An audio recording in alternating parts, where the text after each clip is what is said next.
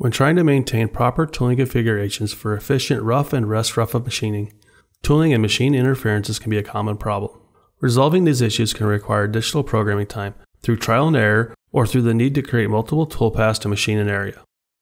The dynamic machine control functionality in Autodesk PowerMill can now be used to help when modifying model area clearance roughing and rest roughing toolpaths when using hemispherical cutting tools to avoid tool interference or machine collisions.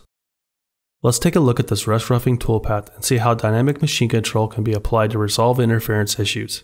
In the initial calculation of the toolpath, we've intentionally switched the collision checking off. If we run the toolpath simulation, we can see that there's a collision between the holder and the finished CAD model. This is due to the 75mm tool overhang being used.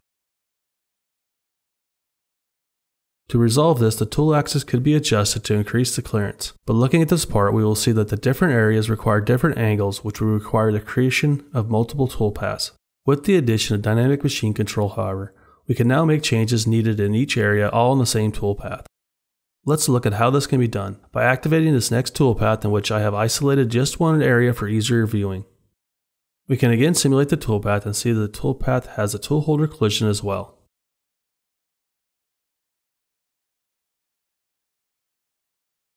If we then open up Dynamic Machine Control by right-clicking on the tool, we can make tool axis adjustments as needed to the toolpath. Let's first select the toolpath segments we would like to change by using the Select Regions. And then saving them. We can then use the grab handles and adjust the tool to an angle that will safely machine the area. Note that the tool will turn red if the angle causes an interference with the part. Additionally, we can move the tool to different areas of the toolpath to verify everything is safe.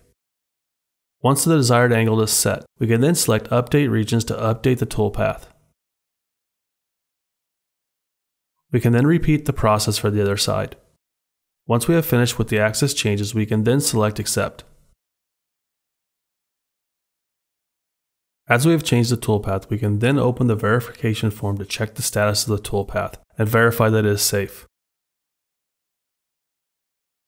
We can then run the simulation again to see our toolpath changes, and the toolpath will cut safely as well.